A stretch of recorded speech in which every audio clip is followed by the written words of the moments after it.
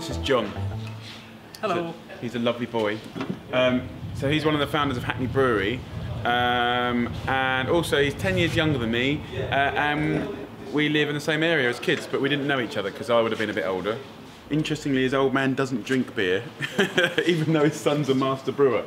Um, I bet that went down well, didn't it? Well, you know, he doesn't drink the profits. So we do a best bitter, a golden ale, American pale ale. We do a red ale, a session IPA, a session IPA. Yeah. Uh, we do a lager. Just started doing a lager. Oh, Um, delicious. a couple of wheat beers. Always making new beers. Always got a, an idea. What's this one? That's the red ale.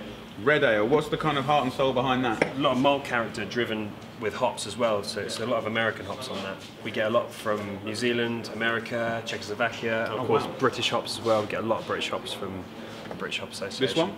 That is our mega hef. What is a mega hef? It's a Hefeweizen. It's a double Hefeweizen, so it's six percent, no seven percent nearly, and it's uh, hopped with Mosaic and Equinox, which are two big punchy American hops. It's like a, a German wheat beer, Right, cloudy. Cloudy. Delicious. So what's this one, dude?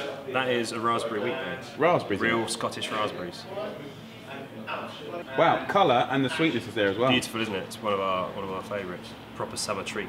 And actually using fruit and herbs in beers Yeah. is hugely original, isn't it? I mean, Yeah, they were yeah. doing it hundreds and hundreds of years ago. Absolutely. It sounds to me like Hackney Brewery's kind of got this very classic, sort of young classic approach, but also there's this other side that's kind of constantly trying new things. I mean, I guess that's the way you want to be, really. It's very it? traditional cask ales. That's that's, that's how we started. Yeah. And it's progressed into kegs, and, and, and now we're looking at pushing the boundaries a little bit. It started off with two boys in a shed. And Yeah. Now we're now we're a proper business. It's exciting, isn't it? Yeah, yeah. Really exciting. And uh, so put some comments on the comments box below. I know that there's amazing things in beer happening in Brazil, in um, America, All in over. Australia, and you, I mean, actually, All over, all over the world. Yeah. All right, guys. So look, thanks very much for watching. Um, if you get a chance to have a pint of Hackney Brewery beer, have a go, and you can think of us too.